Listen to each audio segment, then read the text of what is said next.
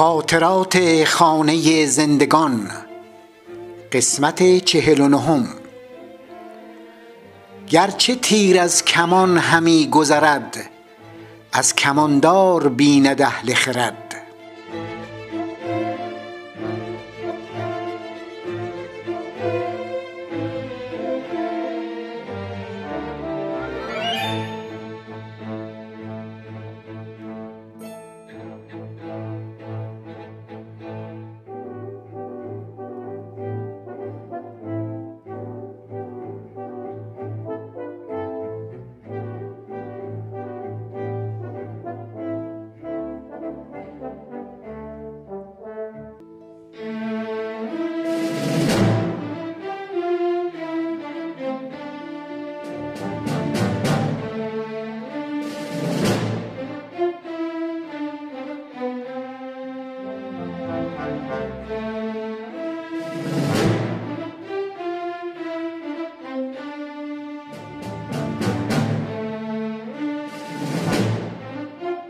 از قسمت چهل و شش خاطرات خانه زندگان به بخشی از مباحثی که زندانیان سیاسی رژیم پیشین تحت تأثیر اون بودند پرداخته و تا کنون به موارد زیر اشاره داشتم.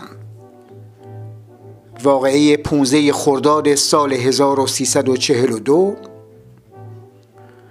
دیدگاه های موافق و مخالف آیت الله خمینی در زندان شاه طیب حاج رضایی که ساواک میکوشید جا بیاندازد او و امثال او آبشخور اعتراض مردم به حکومت بودند و قضاوت کنسولی قضاوت سپاری یا کاپیتولاسیون. در ادامه این مباحث باید به کنوانسیون وین Vienna Convention of Diplomatic Relations قرارداد وین درباره روابط سیاسی هم اشاره کنم که از قضا بعد از واقعی 15 خرداد سال 42 محور سخنرانی های آیت الله خمینی بود بدون اینکه معلوم باشد دقیقا چی هست چی نیست. برای بررسی و فهم بهتر قرارداد وین در رابطه با ما پیگیری روابط سیاسی بین ایران و آمریکا از آغاز شکلگیری تا پیش از انقلاب ضرورت دارد. تا به همه جوانب بحث آشنا بشویم. به خصوص که اونچه آیت الله خمینی در مورد کاپیتولاسیون و پیمان وین می‌گفت بیشتر در اعتراض به روابط سیاسی با آمریکا بود. مبارزین و مجاهدین و همه کسانی که با آیت الله خمینی مرزبندی داشتند یا نداشتند هم روی موضوع فوق حساس بودند. در تاریخ روابط ایران و آمریکا جاستین پرکینز اولین آمریکایی است که بر طبق اسناد موجود به ایران آمده است. سپتامبر 1833 میلادی شهریور 1212 خورشیدی. در سال 1850 1229 خورشیدی امیر کبیر به حاجی میرزا احمد خان مسلحت گذار ایران در استانبول دستور داد با جورج مارشال وزیر مختار ایالات متحده آمریکا در عثمانی درباره انعقاد قراردادی بین دو دولت ایران و آمریکا وارد مذاکره شود. این مذاکرات در 19 اکتبر 1851 27 مهر 1230 خورشیدی منجر به انعقاد اهنامه مودت و کشتیرانی گردید. بر اساس این عهدنامه روابط بازرگانی و کنسولی بین دو کشور برقرار شد. روابط سیاسی بین ایران و آمریکا پس از ازل امیر کبیر هم ادامه داشت. در تاریخ 13 دسامبر 1856 میلادی 22 آذر 1235 خورشیدی پیمان دوستی و بازرگانی بین فرخان قفاری سفیر کبیر ایران در فرانسه و کارول مسپتس وزیر مختار آمریکای شمالی در دربار عثمانی منعقد گردیده است. به موجب ماده دوی این پیمان دولت آمریکا از حقوق مربوط به کشورهای کاملت الوداد most favored nation برخوردار شده که منظور در اینجا همون مقررات کپیتالاسیون بوده است.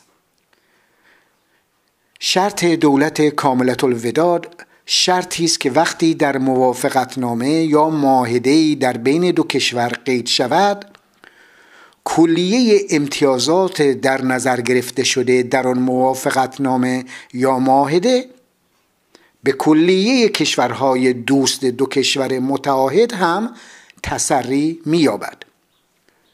کاملت الوداد ترجمه غلطی از most favored nation است. اعراب اون را دولت الاعلا افضلیه ترجمه کردند. با اینکه پیمان فوق بین فرخان غفاری و کارول مسپتس در سال 1857 1235 خورشیدی به توشیح مهر و امضای ناصر الدین شاه رسید و از نظر ایران باید به اون عمل می‌شد.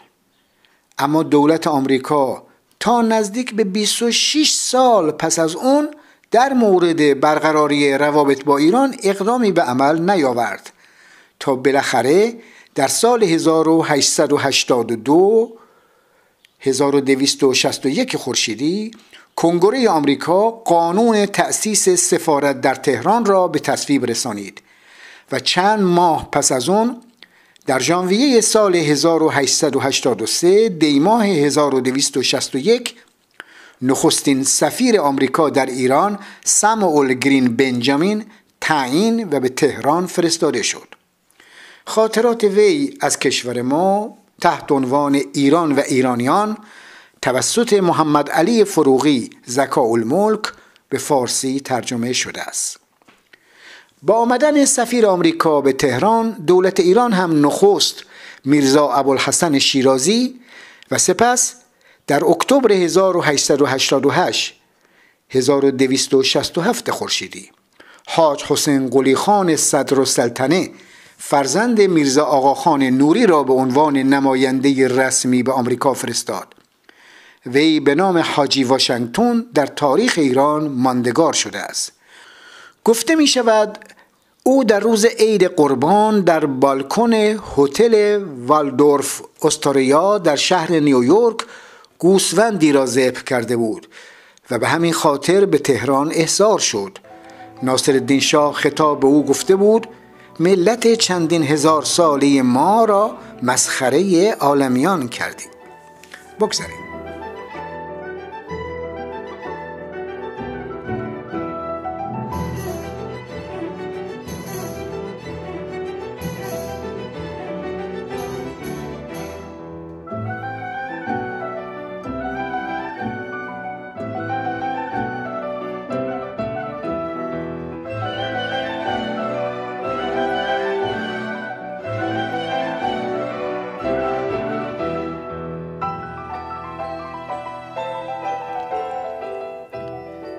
معموریت مورگان شوستر و آرتور میلیسپیو.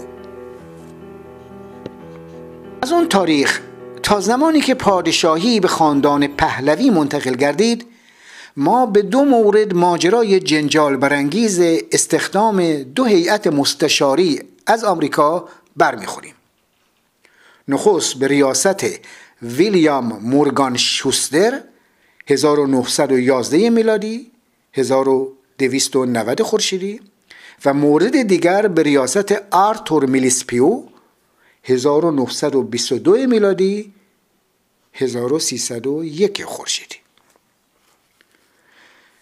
در جریان تشدید رقابت های استعماری میان روسیه و بریتانیا دولت وقت ایران مورگان شوستر و چهار مستشار آمریکایی دیگر را برای دارایی و خزانهداری کشور استخدام کرد.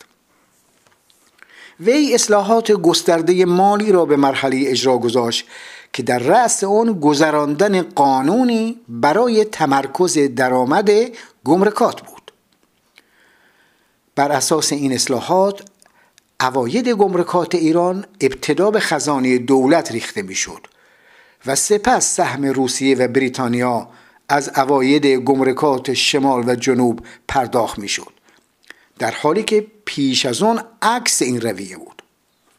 اقدام شوستر موجب خشم روزها شد و دولت روسیه در 29 نوامبر 1911 به ایران التیماتوم داد که ظرف 48 ساعت باید شوستر از کار برکنار و اخراج شود. 24 دسامبر 1911 مجلس شورای ملی تن به رأی ازل وی داد. مورگان شوستر همون کسی است که در بازگشت از کشور ما کتاب اختناق ایران را نوشته است. بعد از شوستر نوبت آرتور میلیسپیو رسید که بار نخست در سال 1301 خورشیدی 1927 میلادی و بار دوم در سال 1321 خورشیدی 1942 میلادی. در رأس یک هیئت کارشناسی وارد تهران شد و به عنوان رئیس مالیه دارایی استخدام کردید. در سال 1922 1301 خورشیدی دولت تصمیم گرفت برای تأمین کسری بودجه از آمریکا وام بگیرد. طبق مذاکراتی که به عمل آمد شرط گرفتن وام این بود که اداره مالیه مملکت تحت نظارت مستشاران آمریکایی قرار گیرد. بعدا در کابینه قوام السلطنه قانونی از مجلس گذشت که به موجب اون آرتور میلیسپیوی آمریکایی با حقوق 15 هزار دلار در سال استخدام می‌شد. خانه و اساسیه هم با دولت ایران بود. به علاوه قرار بود هشت نفر دیگر آمریکایی که توسط میلیسپیو انتخاب می شدن نیز با حقوق 7500 دلار تا 10000 دلار به کار گرفته شوند از شرح اقدامات مثبت و منفی میلیسپیو میگذرم. او تا سال 1306 1927 در ایران ماند.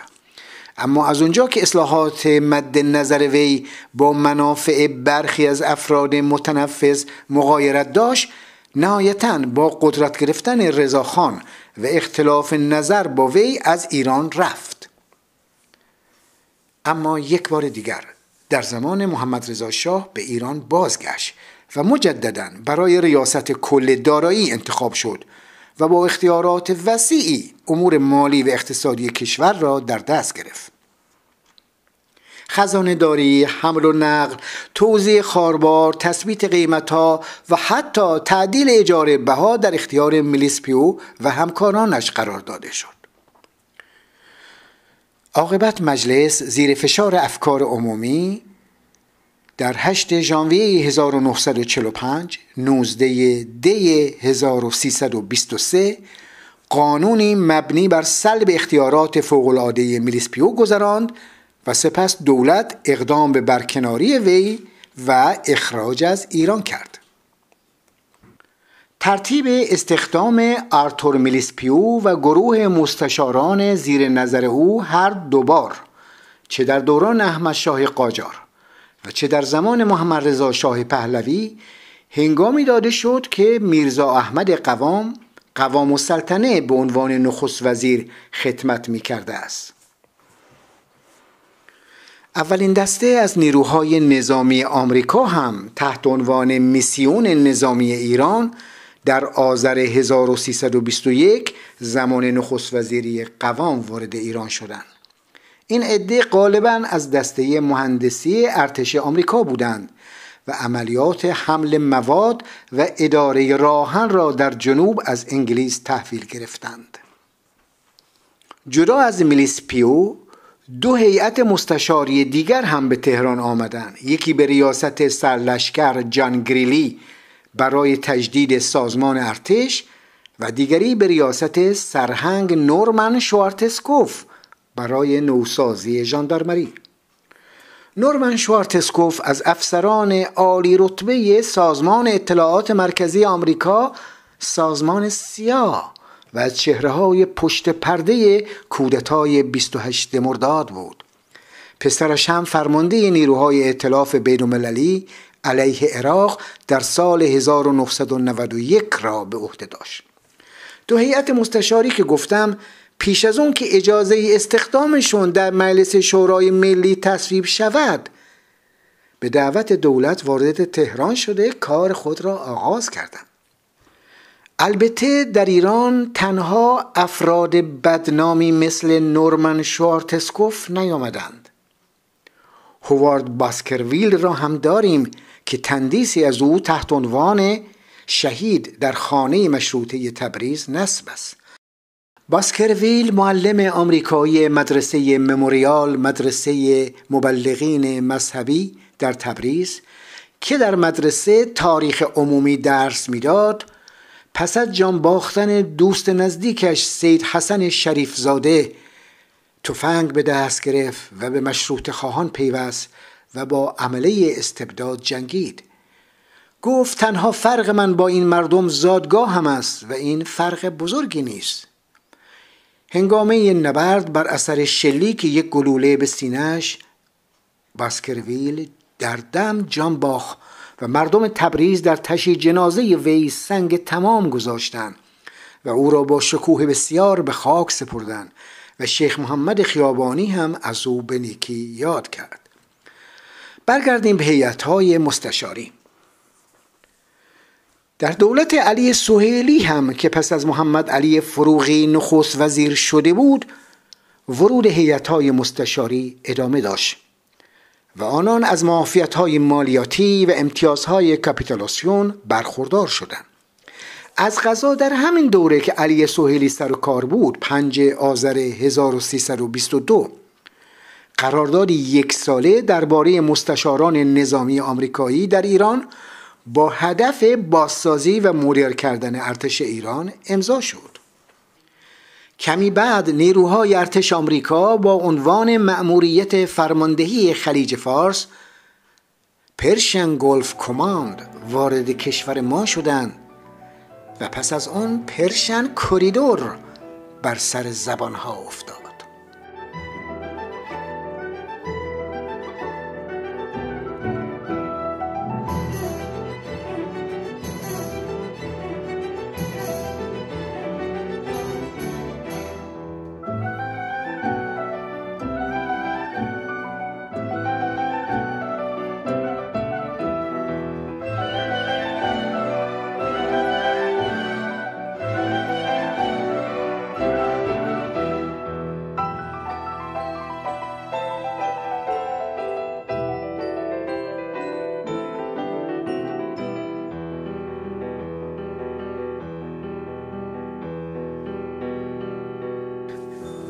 پرشن کریدور پس از آغاز جنگ جهانی دوم در 9 شهریور 1318 یک سپتامبر 1939 ایران بیطرفی خود را اعلام کرد اما ارتش متفقین به بهانه حضور جاسوسان آلمانی در ایران کشور ما را اشغال کردند. سوم شهریور 1320 نیروهای شوروی از شمال و شرق نیروهای بریتانیایی از جنوب و غرب از زمین و هوا به ایران حمله کردند و شهرهای سر راه را اشغال نموده به سمت تهران پیش آمدند. چندی بعد نیروهای آمریکایی نیز به اشغالگران پیوستند. ارتش ایران به سرعت متلاشی شد و رضاشاه با فشار متفقین ناچار به استعفا گشت. با تصمیم اشغالگران راه‌آهن سراسری ایران برای انتقال کمک های نظامی از جنوب ایران به پشت جبهه شوروی مورد استفاده قرار گرفت و Persian Corridor بر سر زبانها افتاد. Persian Corridor راهی بود از شمال به جنوب ایران برای رساندن مهمات و دیگر ابزار جنگی از خلیج فارس تا دریای خزر و سپس از آنجا به روسیه. با اشغال نیروهای بیگانه که با یک تبانی تاریخی به میهن ما تاختند ایران مجبور شد پروانه استفاده از راه کشور و سیستم مخابراتی کشور را با آنان واگذار کند. نیروی کارگر و ابزار مورد نیاز را هم برایشان فراهم آورد. به علاوه میبایست مطبوعات سانسور شود تا مردم از اشغال و استفاده از منافع کشورشون بیخبر بمانند. دولت آمریکا پس از اشغال کشورمان هم یک سری قرارداد دو جانبه و محرمانه با دولت ایران بست. به موجب این قراردادها که آخرین اون در تاریخ 6 اکتبر 1947 13 مهر 1326 در کابینه قوام السلطنه به امضا رسید به مستشاران و کارکنان گروه های نظامی آمریکا در ایران انواع مسئولیت ها و امتیازها داده شد. در واقع دولت با انعقاد پیمان محرمانه نظامی با آمریکا به مستشاران نظامی اون کشور حق انحصاری دخالت در ارتش ایران را داد. قرارداد مزبور بین محمود جمع که وزارت جنگ را بر عهده داشته به نمایندگی از سوی دولت ایران و جورج آلن سفیر کبیر آمریکا به امضا رسیده است. رادیو لندن خبر بستن قرارداد محرمانه نظامی ایران و آمریکا را علا رغم تکذیب دولت ایران پخش کرد و سفارت شوروی دست به اعتراض زد. انگلیسی ها از آرشیو ثبت قراردادهای سازمان ملل موضوع را به صفحه های روزنامه ها کشاندند و در پیامد اون سقوط دولت قوام السلطنه کلید خورد.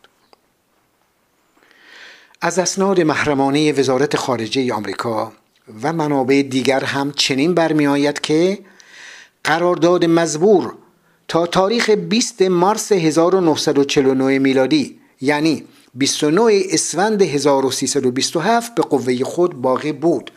اما دولت ایران در صورت تمایل می توانست برای تمدید آن پیشنهاد و دولت امریکا نیز موظف بود که اقدام نماید. بر همین اساس اعلام تمایل ایران به تمدید قرارداد پیش از تاریخ سی شهریور 1327 در زمان نخست وزیری عبدالحسین هجیر توسط سپهبد امیر احمدی انجام شده است. آخرین مهلت برای درخواست تمدید قرارداد گفته شده پیش از شهریور 1331 و زمان امضای تمدید اون 29 اسفند 1331 بود و بنابر مقررات هر دو کار را نخست وزیر فقید دکتر محمد مصدق به انجام رسانده است. نخست وزیر وقت. روابط سیاسی بین ایران و آمریکا در سالهای اولیه دهه 1320 اون چنان حسنه بود که والاس موری وزیر مختار آمریکا در تلگرامی به وزارت خارجه آمریکا نوشت ما به زودی در وضعیتی قرار خواهیم گرفت که عملا ایران را اداره خواهیم کرد. گفته می شود محمد رضا شاه پهلوی در آغاز پادشاهی خود تا چندین سال نفوذی در کابینه های وقت و در تعیین سیاست و اداره امور کشور نداشته و در دادن مسئولیت قضای نامحدود به مستشاران آمریکایی دارای دخالتی تعیین کننده نبوده است. این گونه نیست. ماهی از سر گنده گردد. نیز دم صاحب عله و کماندار اصلی پادشاه بود و در تحلیل نهایی مسئول نخست اوست. گرچه تیر از کمان همی گذرد از کماندار بیند اهل خرد. در قسمت بعد به قرارداد وین می‌پردازم